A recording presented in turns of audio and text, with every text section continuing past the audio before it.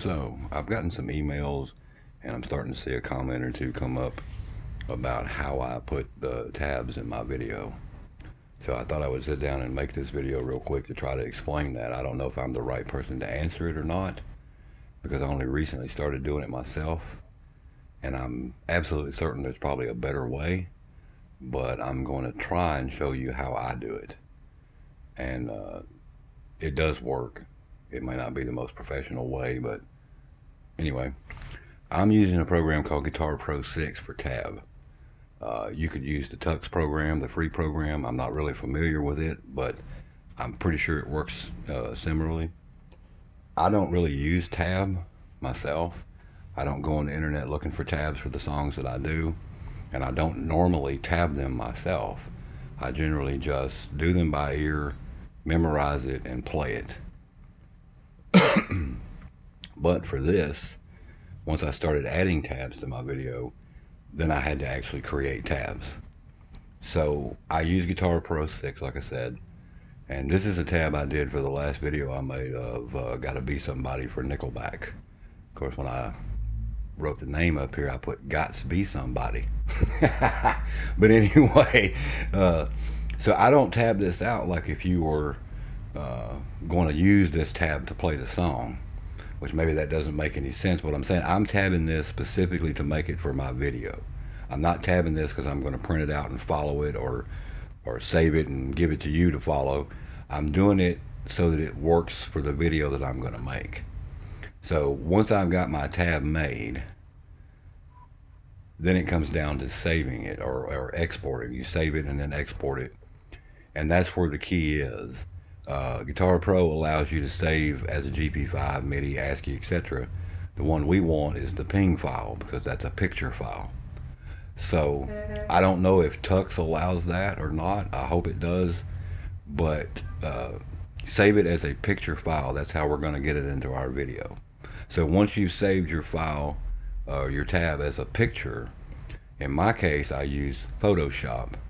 You could use another graphics program, but Photoshop's what I have. And when I open it, of course, it's not big enough for me to see, so I need to zoom it in. Okay, once I've got this up here where I can see it good, I want to take this first piece and just select it like this. Get it kind of how I want it. And I'm going to do copy. You can do Control C or just do it the way I did. Now, a little tip here if you're not familiar with Photoshop, and I don't know if other programs do this or not, but once you select something and copy it like that, if you come up here and hit File and New, whatever the selection that you just made was, it makes the new file that size. So it's extremely easy to do. So you just click OK, and you've got a new file or a new picture file exactly the size that you need. And then you're just going to paste what you did in there. Now in Photoshop, it put it in here as a new layer. So you'll have to flatten the image so that you can save it as a picture file. And if you want it with a white background and, and black for the for the tab itself, you're done. You just save it as a picture and that's it. I don't use it that way. I like to go one more step and invert it. I just think that looks better. I like the way it looks on my video better when it looks this way. Uh, let me zoom it in a little bit. So that's what it's going to look like in the video, give or take. Now, if you really wanted to get precise here, you could make every one of these exactly the same size by just coming back up here and uh, going to image size and make them exactly the same. I don't do that because I'm lazy and I freehand everything, I guess. But once you've got all your sections of your tab done, then you go to whatever video editing program you're using. In my case, I'm using uh, Wondershare Filmora. I've got all the, the editing done of the video, meaning I could export this now and have a, a cover video, but I'm going to add the tab to it. Pay no attention to my white knees. you don't see those. Uh, so I've imported all of my saved picture files for my tab. I've got my timeline set up to where I know where the verse the first part of the verse comes in. And so I'm going to take that piece of tab that I've created and drag it to my timeline. and it's going to show up like this. Now, important to note, if you was to drag this down here on a new track somewhere, below this, you won't see this at all. It has to be on the uppermost uh, track of your video editing software. I'm pretty sure that's universal. So anyway, we've got this tab drug in here, and this is what it looks like. You could, in Filmora, double click on it and go in here and make adjustments to it if you wanted to, but I like it just the way it is.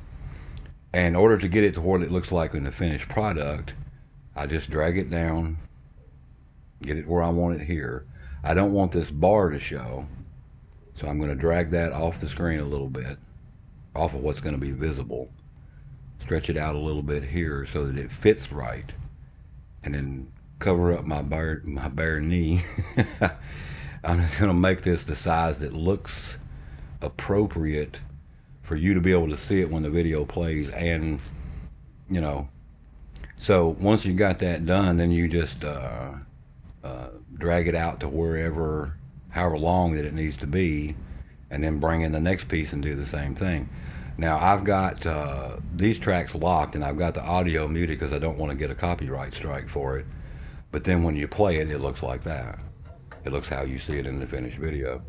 Now, like on this song, you got verse part A, part B, part C.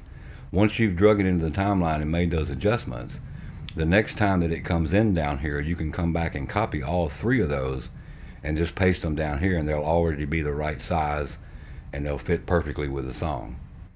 But anyway, that's the way I do it. It's kind of a long, drawn out, tedious process, but that's how I do it. I mean, there's probably a better way. I'm sure there is, but that's how I do it. Uh, I would definitely be open to somebody suggesting a better way. But uh, I hope that helps the people that were asking about it, and uh, we'll talk to you later.